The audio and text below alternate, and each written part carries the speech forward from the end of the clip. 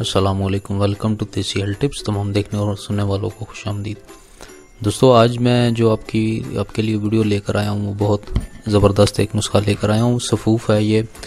ये मर्दाना टाइमिंग के लिए सफ़ूफ़ है। सरत इंजाल के जो मरीज़ हैं, जो जल्दी फारग हो जाते हैं, उनके लिए ये सफ़ूफ़, बहुत बेहतरीन सफ़ूफ़ आपके लिए लेकर आया हूँ। तीन चार अज्जा हैं, उनसे तैयार होता है ये सफ़ूफ़ और बहुत ज़्यादा मुजरब है, बहुत ज़्यादा इसमें बहुत ज़्यादा कामयाबी के बहुत ज़्यादा चांसेस हैं कि जो सरद इंजाल के मरीज़ हैं वो इसमें जल्द अज जल्द शफा हासिल कर सकते हैं। इसे, इस नुस्खे से बहुत आसान नुस्खा है। आपको किसी भी छोटी से छोटी पंसार की कोई दुकान है आपके घर के करीब तो वहाँ से भी ये नुस्खा आपको मिल जाएगा। आप बनवा लें अज्जा वहाँ से और ख़ुद घर आकर उसको पीस कर और वो कर लें तैयार। मैं आपको आगे तरीक़ाकार बताता हूँ। दोस्तों, नुस्खा बताने से पहले आपको ये अर्ज़ करता चलता हूँ कि आप हमारे सब्सक्राइबर अगर आपने हमारे चैनल को सब्सक्राइब नहीं किया तो हमें सब्सक्राइब करें।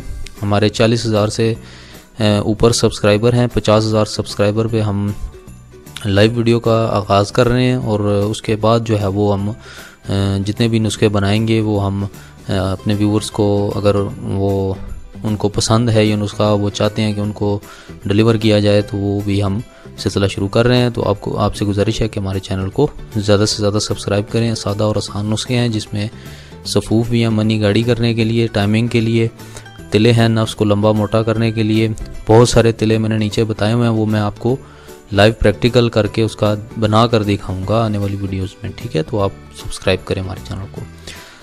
तो दोस्तों, नुस्खा मैं टाइम ज़्यादा नहीं लेता तो आप नुस्खा शुरू करते हैं।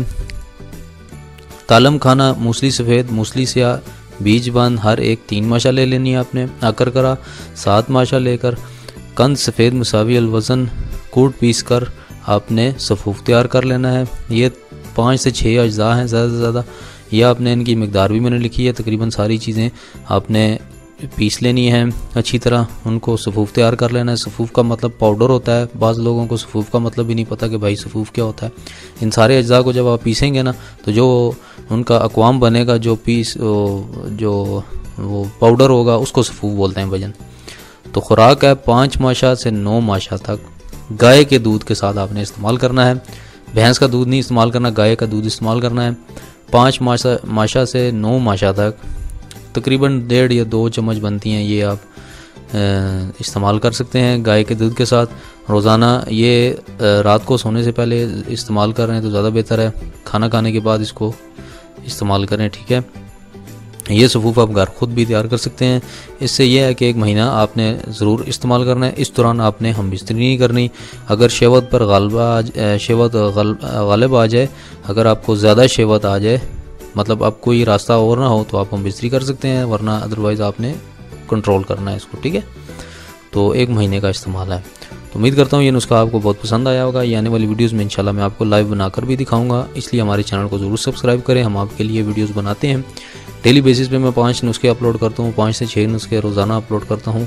ये पचास हज़ार सब्सक्राइबर पे इंशाल्लाह आपको लाइव नुस्खे बनाकर और तिले आपको बनाकर दिखाऊँगा। ऐसे ज़बरदस्त तिले मैं लेकर आ रहा हूँ जो आपको कहीं पर भी नहीं मिलेंगे। अतः कि आप जो इंटरनेट पर यूट्यूब पर जितने भी चैनल्स आप वाच करते हैं, सब एक दूसरे की कॉपी करके वो चला रहे हैं। लेकिन मैं अपना ओरिजिनल काम कर रहा हूँ और आपको नुस्खे दे रहा हूँ और इन आगे भी लाइव बनाकर आपको दिखाऊँगा और फिर पार्सल का भी हमने, हम सिलसिला शुरू कर रहे हैं। इसलिए हमारे चैनल को ज़रूर सब्सक्राइब करें। मिलते हैं अगले किसी अच्छी वीडियो के साथ। तब तक के लिए इजाज़त दीजिए। अल्लाह हाफिज़।